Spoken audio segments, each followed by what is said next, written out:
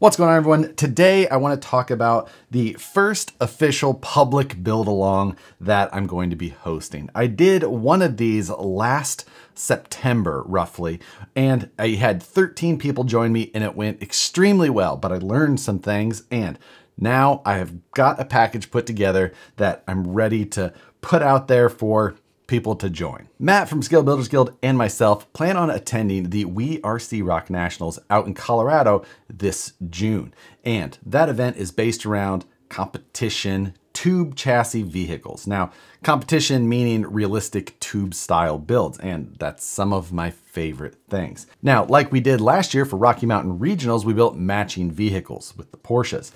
This year, we decided we should build a couple of matching moon buggy. And the start of that you see here in front of you. This is my test chassis for the build along. I used all of the pieces that I'm going to explain to you today to put together this chassis here. And what we're going to discuss today is how I think that many of you could build one just like it with as much help as I can possibly give you. Now, fabrication isn't for everyone. Some people just have no interest in it or maybe just physically have no ability to have or store, use the tools that it would require to do this. And I totally understand. But for those of you that do have the desire to fabricate, or maybe you're already fabricating and you're just looking for another project, then I think that this one could be a great either start or just another one to be a fun build. For those of you that aren't interested in building along, but you still want to follow in depth as we go, I've got some information on that at the very end of the video. Fabrication is one of the most rewarding things, and it's a super powerful tool to have in your toolbox. Being able to design things in a computer is great, but if you can't make them come to life, and when sometimes a 3D printer just won't cut it, then having some fabrication skills will go a long way. And to help you out, whether you're brand new and just don't really know where to start, or you're a seasoned fabricator and you just don't wanna do all of the tedious stuff that goes into designing a full chassis, I've put about 40 hours of design work into this package that I'm going to detail out for you today. So what we're going to get into is we're going to cover the tools that you'll need, the supplies, and what I'm going to provide in the package. This is the basis of a single seat moon buggy chassis, as they're commonly referred to in the full size world. And this one is modeled after a new buggy that was built by Jimmy's 4x4, also out of Colorado. I saw this on Instagram a handful of weeks ago and I thought it looked great and I was pretty interested in designing a new moon buggy for myself. I thought it looked great. I thought it had some additional styling cues that you don't typically see on moon buggies that I was excited to be able to integrate into the project that I was looking to do. Now, this buggy is built around a 1.9 platform with roughly 4.75 inch tall tires. The wheelbase is gonna be just a little bit over 13 inches ideally, and it's gonna be based around Vanquish F10 portal axles. Now you could build it with four wheel steer or two wheel steer depending on what you're really after. For the transmission, I'll be basing mine around a VFD twin that's reconfigured a little bit, and we'll get into more details on that later. But I also think that you could easily run a deluxe portal transmission or a standard three gear style transmission in here without much problem. And again, we'll get into some of those details in a little bit. That is a lot of the 3D printed fixturing like you see here. Now, I built this chassis and all of these pieces that I'm showing you already. So there is going to be some that's got some signs of melting and things like that, but that's fine. These are single use to me because I'm, well, I'm building two, but I'll reprint anything that I need for mine. The purpose of the design is to do this in stages. This is the first stage fixture. Once you have your tubes done, you put them in this and you tack them into place. Now to make it easier to figure out if your tubes are done correctly, I've got jigs for everything. The bottom tube here, what would be along the rocker panel, there's a jig just for that. And this allows you to cut this to the exact length that you need. You just put your tube in there, cut it to length, and you know that's all you had to do. And you set it in the jig and you're set. For tubes that have a bend, there's a template for that as well. It's concave, so you can actually fit it in there to make sure that it matches the bend radius and the overall length as is required. Once you get the bend done and cut to length, then you will need to notch the tubing to make sure that it fits down into the fixtures properly. But the fixtures really help tell you that you're in the right spot. If it doesn't sit down all the way, you need to take a little bit more material off. And you just kind of get there. It just helps take all of the guesswork out of fabricating, which can be a ton of time. And it also helps you get a really square tube chassis built. Now every tube in this chassis has a template, so you'll know exactly how long you need to cut every single tube. You'll put all of your tubes in the jig and there's holes in these all over and that's for zip ties. So you can zip tie everything down. Also helps in case you're just a little bit further off than you thought, put a little tension on a zip tie, pull things down into place. Once you get down with the first stage, you're done with those templates and you can put them to the side. From there, you go to the next stage. In this case, you'd have the center section. These are all done in multiple pieces so that you can put your tubing in there, get it all into place, finish the entire stage out, and then deconstruct it and pull it out of the chassis from the inside. Just makes it easier so that you're not having to physically break away the jig as you go. Sometimes, even for me, it gets a little hot and it melts to a tube a little bit. You just kind of pry it off. Again, single use is the idea for these. As part of the package, you'll also get files for things like the hood that I've done here, the interior for the configuration that I plan to do, file for the skid plate design, as well as the shift servo mounts that will have to get integrated as well. Distribution of all the files is done through a website called Discord. Many of you may be familiar with it, many of you may not be. But it's basically the ability for us to have a private forum where we can post the files, share details back and forth, share photos, all kinds of things to really just help along in case you have any struggles along the way or share your progress with the rest of the group. As I progress through my own build and Matt's, I guess, I'll be creating files that I'll be using to kind of detail mine out like a scale interior, probably some sort of scale engine for the back. And those are files that I expect to share as well. Then there's other things like the idea that I have for my reconfigured VFD twin is going to require like a custom machined top shaft. Now, if I am able to execute that, then I'll make that available to any of you so that you can pick that up as well. Ideally, to do this the way that I've designed it, you're going to be using a TIG welder. Now, TIG welders can be had for two to 300 bucks these days that will probably get the job done. I started with a very inexpensive TIG welder and I got a lot done with it.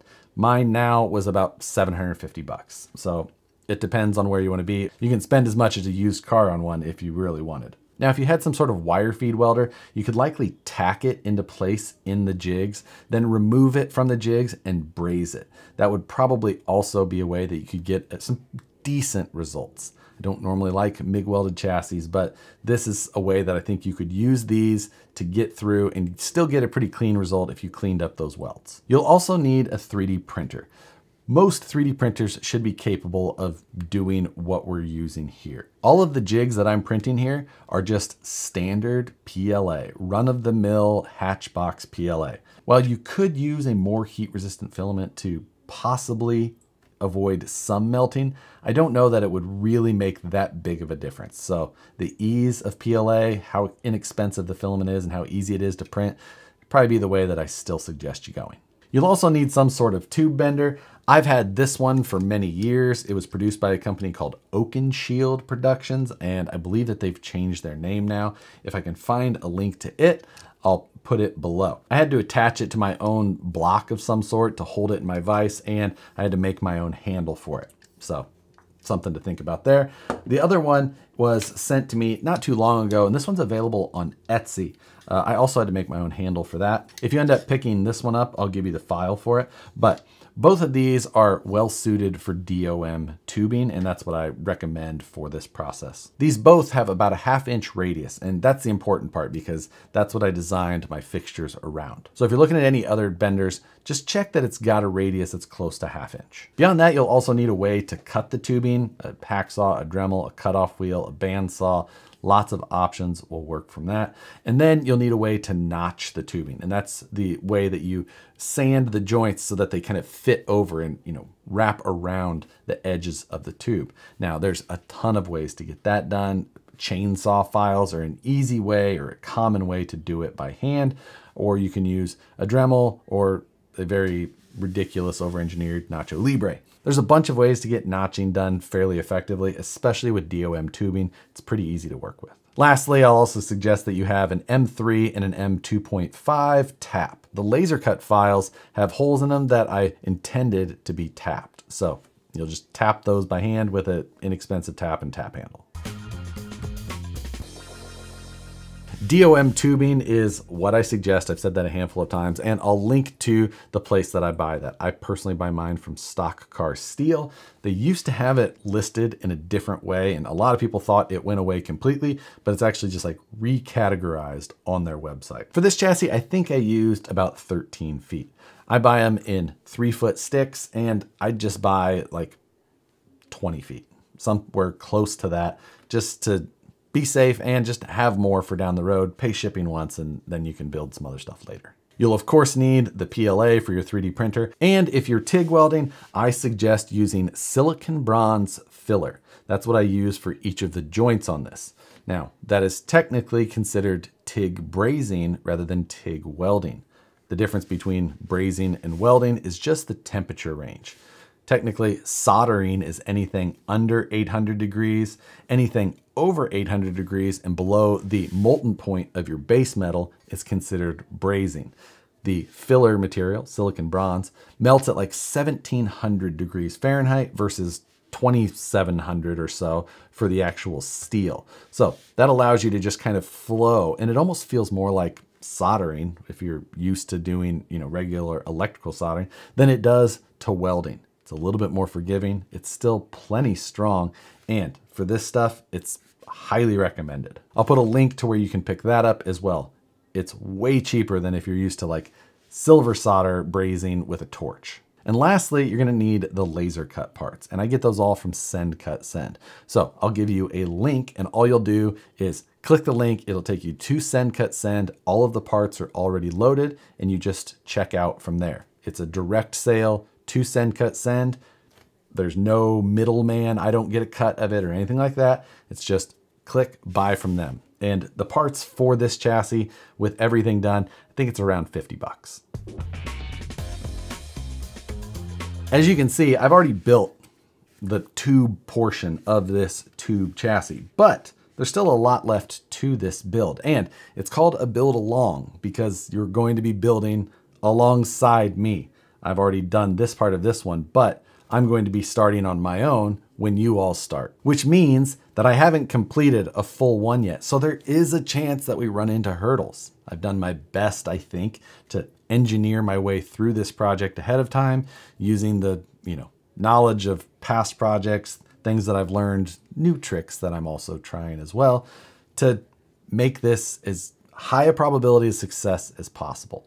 But there is a chance that we have to make a change. There may be a little bit of rework. Who knows? I don't expect it to happen, but eh, we should just put it out there now. Also, there may be things that I end up making for mine that I don't put up for everybody. So there might be some differences between exactly what I do and what gets put up. The other thing is that I'm trying to give everybody the highest likelihood of success by doing the best that I can with these fixtures. They do really make this process so much easier. But it still does take some patience, you know, some some effort, some learning to get through it. And I know that not everybody is always capable of that. I myself am not a talented welder. I really am not. I am a novice. But by trying to set myself up as best as possible, I can end up with results that are passable on the internet. So I feel that I can give you guys the best possible chance of that as well. And I'm positive that some of the outcomes of your builds will absolutely end up better than my own. But I also know that there will be some people who may give up. And by saying that, what I'm really trying to say is that just because you quit doesn't mean you get your money back. I'll try and share anything I can, settings, you know, methods, whatever it is. I'm not trying to gatekeep anything that I do with this project. But it doesn't always mean that it's going to work 100% on however or whatever you're doing it or wherever you're doing it. Conditions may vary, but I'll do my best to just tell you what has worked best for me. The sale for this project is going to go up at 10 a.m. on Wednesday, 10 a.m. Pacific time, that is. I'm going to limit the number of people that I'm comfortable with joining, and we're going to stop it at that. Now, if less than the number of people join, we're still going to cut it off after one week of sales. So from this coming Wednesday till the following Wednesday, that's going to be the total number of people that are allowed to, allowed sounds douchey. So from this coming Wednesday to the following, that's going to be it. Unless it sells out sooner than that, which I'm not really expecting that to happen. The sale of everything will be done through my website, harleydesigns.com, and I'll put a link to it in the description below. That will be live on Wednesday. When you buy in on the website, basically you're just going to be getting a PDF with some instructions. Again, the distribution of everything will be done through Discord, and that's going to require me to send you an invite because it's going to be a private area of the server. If you're planning on joining, you can speed things up by creating an account on Discord. There is a public Harley Designs Discord server, and I'll put a link to that below. That'll just help speed things up a little bit so I can invite you into the private section. That's what outlines our project here.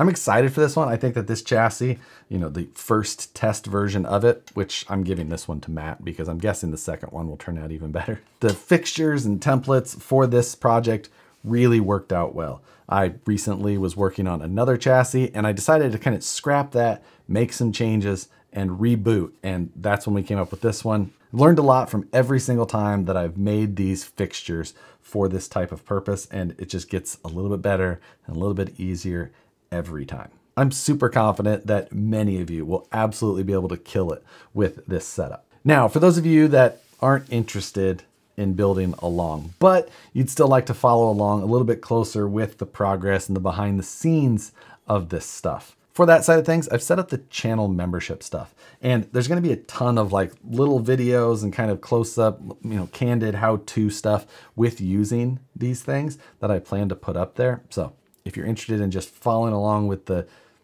over in-depth, you know, fine detail side of exactly what's going on, then you'll find all of that content included with that.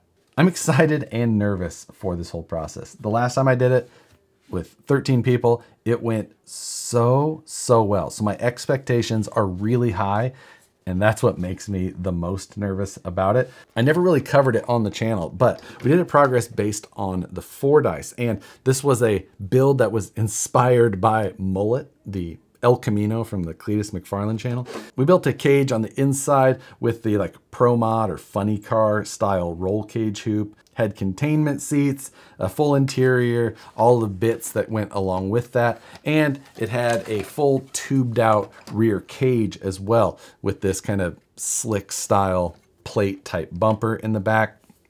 Had a parachute on there just because, and it had this trick sliding battery tray. This little tray slides on rails into the chassis and there's a hard mounted XT60 up in the front that connects to the ESC and everything that's up front. Super slick, turned out really well, and I totally dug this project. And again, the results from everyone else's was fantastic. Doing a full moon buggy chassis is a little bit more involved than a cage, but I also learned, again, a lot from this one that I applied to this, making this maybe as easy or easier than just this setup but we have to prove that that is going to be the case. Hope that some of you are excited to join along and maybe you'll come compete with us in Colorado with the trucks that we build together. If you're still here, I appreciate it. I am excited. I'm looking forward to it. You will see videos of the build as it goes in a normal, you know, edited project style update. But until then, as always, thanks for watching. Watch the website this Wednesday for the release of the project. Thanks again for watching, and we'll see you on the next one.